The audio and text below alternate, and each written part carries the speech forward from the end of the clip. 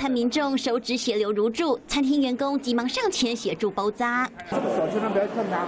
其他人看了也吓坏，吃饭吃到一半怎么会被餐桌割伤？当时都没有看到那个玻璃，没有没有，那看不出来。可能原本就有裂痕，他用胶带把它粘起来。一公分的碎玻璃刺入民众手指头，仔细看，原来是桌上的转盘龟裂酿祸。原先还使用胶带暂时粘住，而伤者其实是台中市劳工局长。转桌的时候就会有这样子哈，这是小皮肉上目前也没有没有什么问题的，这个机会去改善，因为这关系到消费者还有员工的安全啊。餐厅员工紧急换来另一组转盘。二十九号当晚，劳工局长张大春前往台中市南屯区一家知名餐厅用餐，没想到吃顿饭意外遭转盘割伤。